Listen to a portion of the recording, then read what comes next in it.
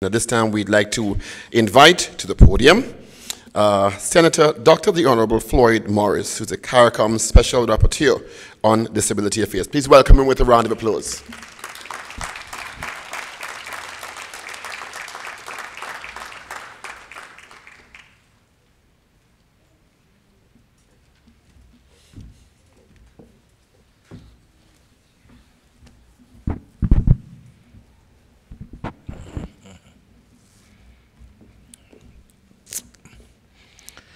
Mr. Master of Ceremony,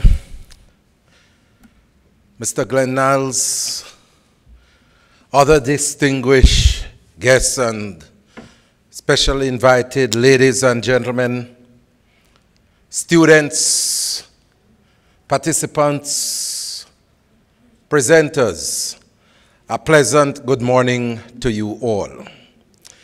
It is my signal honor to be here to participate in this very special conference being hosted by the Down Syndrome Family Network. When the invitation was extended to me a couple months ago by Lisa, I wholeheartedly accepted because I viewed it as a part of fulfilling my mandate as rapporteur for persons with disabilities within the region. And so I made all plans to be here straight into next week until lo and behold, events intervened, and so I have to return to Jamaica tomorrow morning, bright and early, as they say. But I am happy at the conference, and I am happy at how things have taken shape thus far between yesterday and today promises to be another great day. And I want to commend Glenn and Lisa for the hospitality and for organizing this conference to sensitize and make the nation aware of issues confronting individuals with Down syndrome and by extension, persons with disabilities. The theme that we are working with is leave no one behind. And it is an appropriate theme for an occasion such as this. Because you see, whilst it is that governments and individuals within the private sphere are making plans to advance the development of the society, there are some who believe that the plans should encapsulate only those who are able bodied. And for some strange reason, persons with disabilities who constitute the largest minority group in the world based on the World Report of Persons with Disabilities 2011 where between 15 to 17 percent of the global population is estimated to have a disability. So you cannot be making plans and preparation to develop your society and leave 15 to 17 percent of your population behind. That is not inclusive. That is not building a society that is participatory. And so we have to make sure that persons with disabilities are included in every aspect of national development in your country. You see, in 1981, a critical juncture I believe, in global development emerge. Because that was the year that was declared by the United Nations as the year for the disabled. Out of that declaration, we saw a number of actions taking place. It signaled the period when we start seeing some changes emerging in terms of attitude towards persons with disabilities. Because prior, there were individuals who believed that persons with disabilities should be confined to welfare, they should be confined to their homes. The state and the church should take care of them because persons with disabilities cannot make any contribution to society. By 1993, we saw the establishment of the standard rules for the equalization of opportunities for persons with disabilities. But the standard rules was a broad policy framework to guide the globe in terms of improvement for persons with disabilities. But the standard rules were not binding legally. And so by 2001, progressive countries like Mexico saw it fit to advocate for the establishment of a global treaty that had legal effect to protect the rights and dignity of persons with disabilities. And that was when the Convention on the Rights of Persons with Disabilities was born. And by 2006,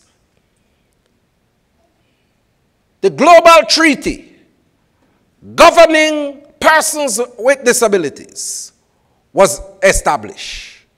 The United Nations Convention on the Rights of Persons with Disabilities that has become the Bible in terms of how persons with disabilities ought to be treated across the globe. And this has triggered significant activities across the world, including the Caribbean. Because whilst negotiations were taking place on the Convention on the Rights of Persons with Disabilities, ministers of Labor and Social Security within CARICOM met in Jamaica in 2004 to chart a course for improving the conditions of persons with disabilities. And that witnessed the formulation of the Kingston Accord but nothing came of it. And in 2013, again, ministers of government under the guidance of CARICOM met in Haiti, Pétionville, to declare a roadmap for how persons with disabilities in the Caribbean ought to be treated. And in 2013, December, we saw the establishment of the Declaration of Pétionville. Included in that declaration was the creation of a special rapporteur for persons with disabilities to guide and drive the disability agenda in the region.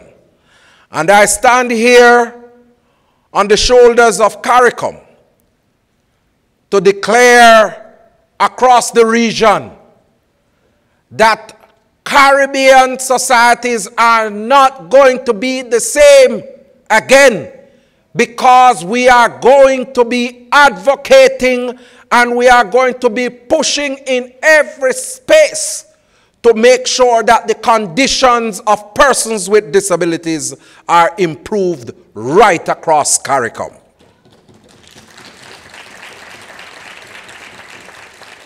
We believe that no one must be left behind.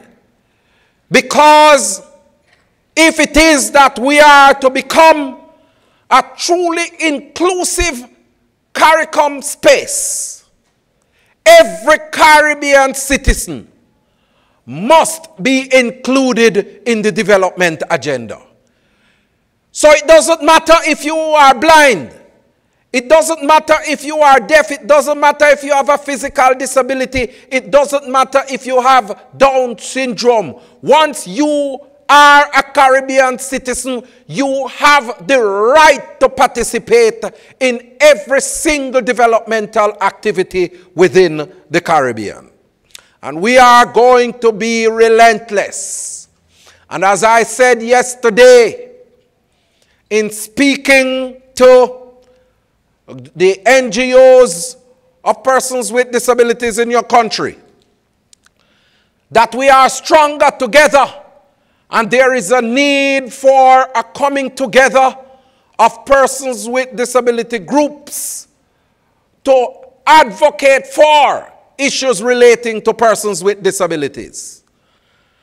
And using the Declaration of Pétionville and the UN Convention on the Rights of Persons with Disabilities as a guide to formulating that roadmap, that pathway to improving the condition of every single person with disability in your country, we will see significant changes. But I said to them also that if it is that you put together your grouping and you are in need of support and assistance, call the warlord Mr. Mill Niles. I am ready to be on the battlefield for persons with disabilities all over the Caribbean because the time has come for us to have an inclusive Caribbean for all our citizens. I must say, I must say that I'm heartened at some of the progress that I have heard being expressed relating to persons with disabilities. But one of the things that we have to see taking shape over the next couple of years, and I've cited my priorities for the next three years as driving the legislative agenda, ensuring that greater employment levels are created for persons with disabilities education of persons with disabilities and public education. But in the context of this presentation, I just want to let you know that without us seeing significant inclusion of persons with disabilities in the education system across the Caribbean, we are not going to experience the sort of transformation that we want to see taking place within our societies. Because education is a major means of socialization. That is where attitudes are shaped. That is where attitudes are developed as it relates to different social groups. And if we don't adopt and embrace an inclusive education system to make sure that persons with disabilities are included in the education system, then we are going to see a perpetuation of those negative attitudes towards persons with disabilities. And I am calling upon the governments within CARICOM, just as how multilateral and bilateral institutions, through their programs and policies, have ensured that we liberalize the economy to make sure that the private sector can participate and flourish. I am calling for a liberalization of the education system across the Caribbean so that persons with disabilities can be included and so they can flourish and progress just as anyone else.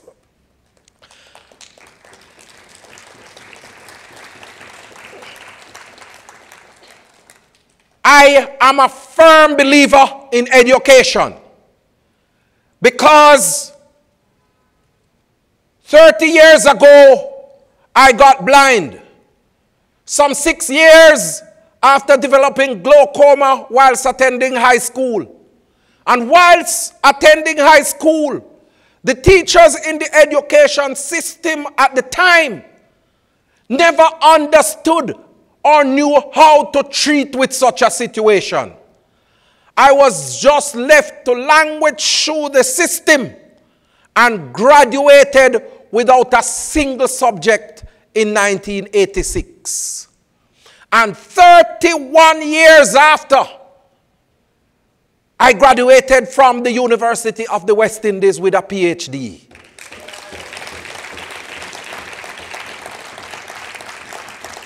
All of this came because I decided, having gotten blind, that I was not going to make my disability detain me. I was not going to make individuals and the barriers that they place in the ways of persons with disability to restrict me.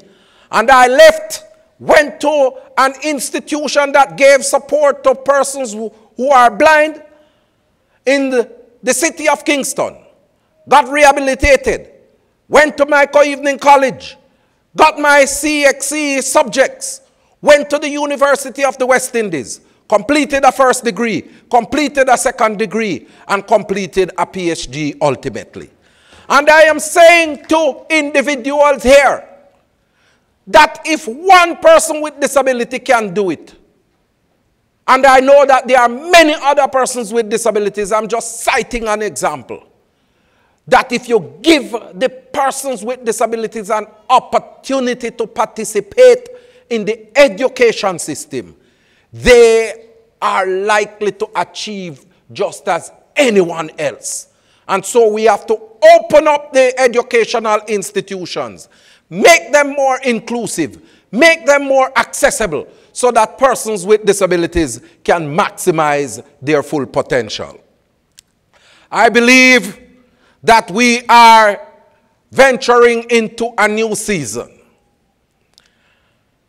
And I have every hope that we are going to see a Caribbean that is more inclusive and more responsive to the needs of persons with disabilities. And I want you to know that the time for action is right now. And the mere fact that you are here today is a part of that action. And I want to commend the organizers of the conference and to let you know that whatsoever I can do to assist the process and the drive to make sure that we have an inclusive Caribbean and a better Trinidad and Tobago for persons with disabilities, I stand ready to do so. Because injustice against a person with disability in Trinidad and Tobago is an injustice against a person with disabilities in Jamaica. Injustice against a person with disability in Antigua is injustice against a person with disability in Guyana. Injustice against a person with disability in Barbados is an injustice against a person with disability in Cuba. Wherever you are in the Caribbean, once there is an injustice against persons with disabilities. All persons with disabilities are affected. And we must unite and march forward to make sure that we have a more inclusive Caribbean for all persons, inclusive of those with disabilities, and leave no one behind. God bless you and all the best for the remainder of the conference.